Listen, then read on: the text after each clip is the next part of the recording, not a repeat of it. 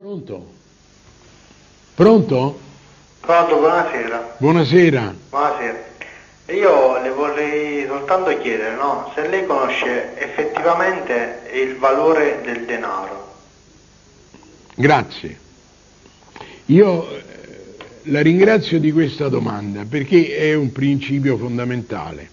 La moneta valore, perché come ha detto Aristotele, la moneta è la misura del valore. Siccome ogni unità di misura ha la qualità corrispondente a quello che deve misurare, come il metro ha la qualità della lunghezza perché misura la lunghezza, la moneta ha la qualità del valore perché misura il valore. Questo significa che la moneta non è solo misura del valore, ma anche valore della misura che è il potere d'acquisto, come il metro non è solo misura della lunghezza, ma lunghezza una misura perché è lungo un metro.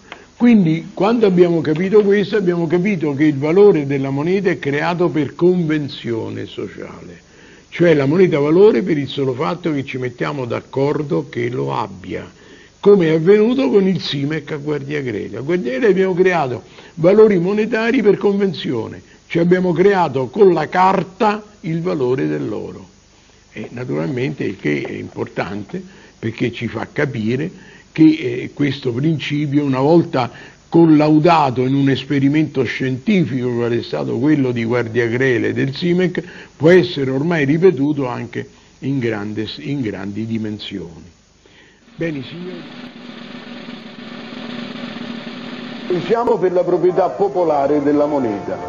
Oggi la moneta nasce di proprietà della banca che la emette prestandola ai cittadini noi vogliamo che nasca di proprietà dei cittadini e che sia accreditata ad ognuno come reddito di cittadinanza